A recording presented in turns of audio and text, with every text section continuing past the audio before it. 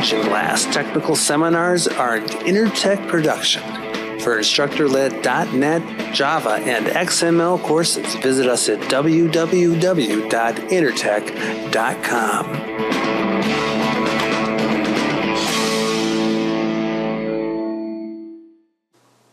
Hello, welcome to some selected recordings from the Windows Azure Bootcamp, presented by Intertech.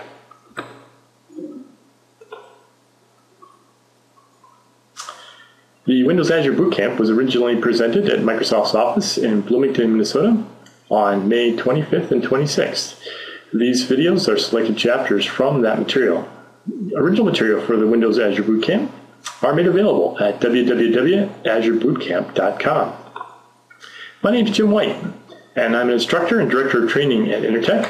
My email address is jwhite at intertech.com. Intertech is a consulting and training company located in the Twin Cities. We're located at www.intertech.com, but you can also follow us and find us on Facebook, LinkedIn, and Twitter. We're also the home of the Windows Azure User Group, available at www.azureug.net. This is a virtual users group, so come as you are, and we're happy to have you.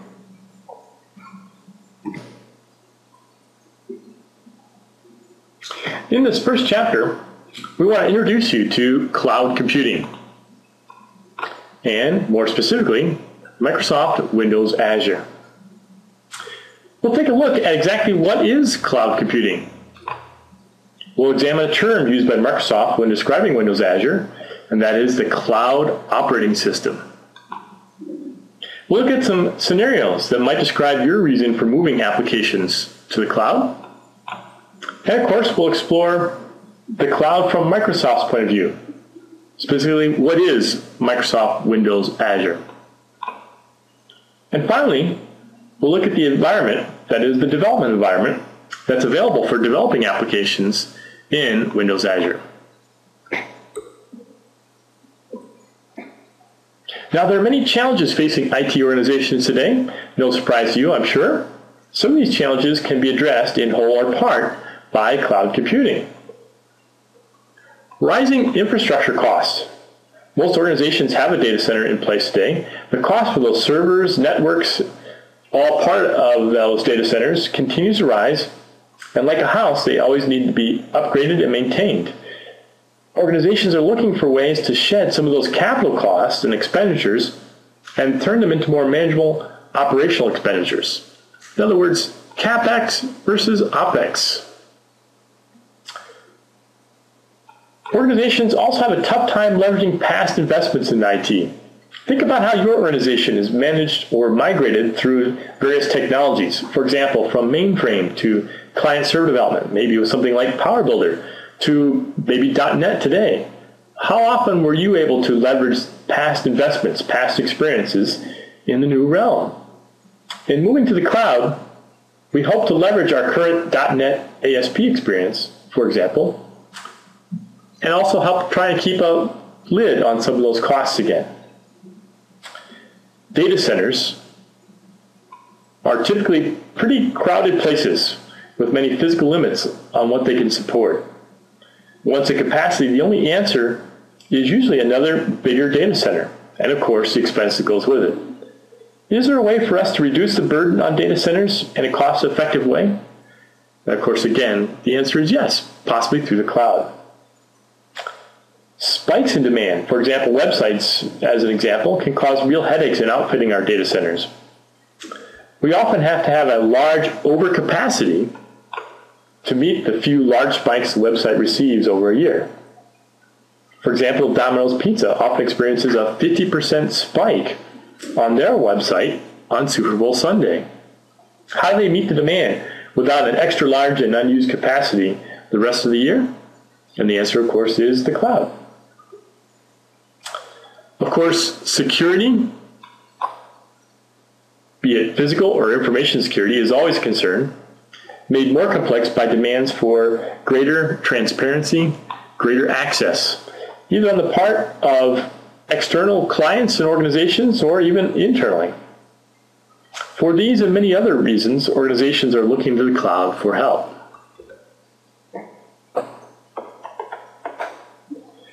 Now, with regard to capacity that I mentioned, most organizations have to continue to expand the capacity in a block by block fashion.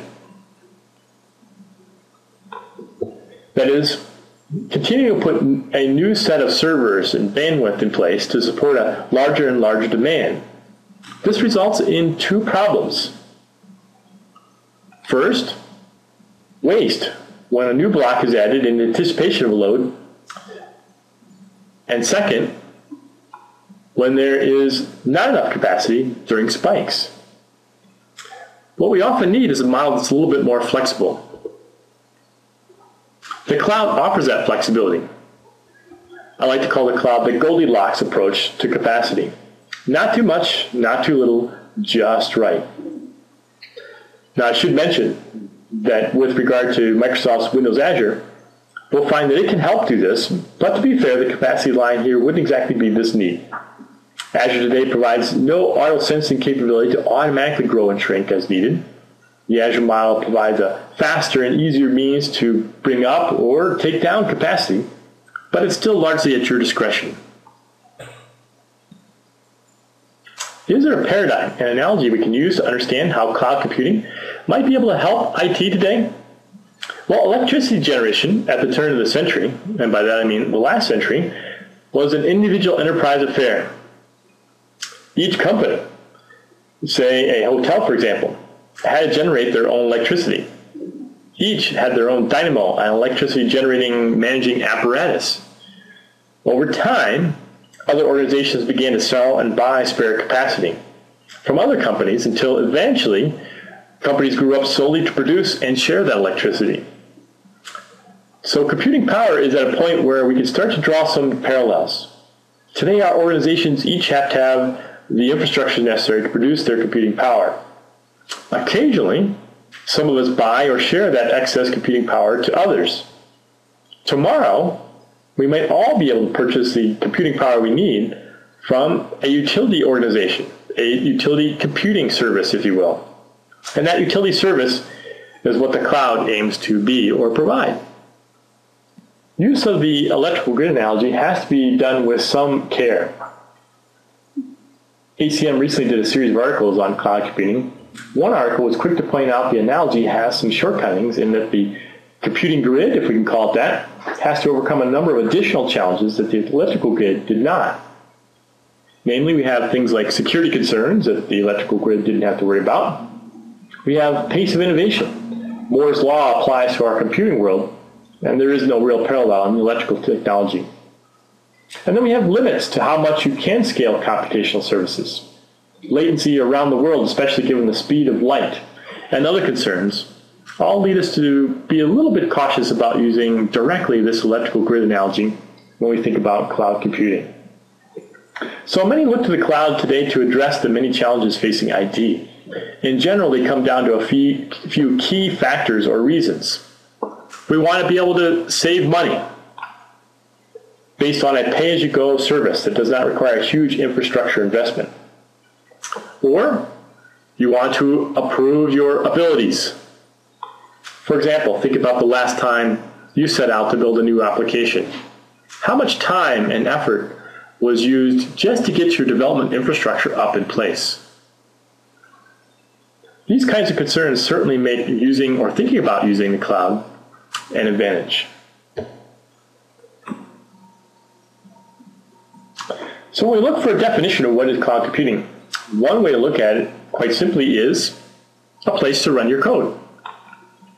And it's a place to run your code to either save or make us money, or again, increase or improve our abilities. Again, things like scalability, marketability, our time to market. Recognize when we're talking about cloud computing, there are at least three different types or forms of cloud computing.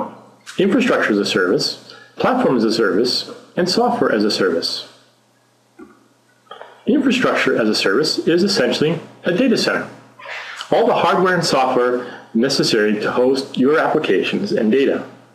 FlexScale and Amazon Web Services are two often cited examples of IaaS. Platform as a service, PaaS, is essentially IaaS++. Plus In other words, a data center, all the hardware and software necessary to host your applications and data, plus a set of tools and an API in support of cloud-based application development. This is where Windows Azure comes in. Google App Engine is another example of PaaS. And then there's software as a service, SaaS, packaged commercial software available over the internet in a pay-as-you-go model. Salesforce.com is the most often cited example of SaaS. For more free learning resources and to see the latest lineup of our instructor-led.net, Java, and XML courses, visit us at www.intertech.com.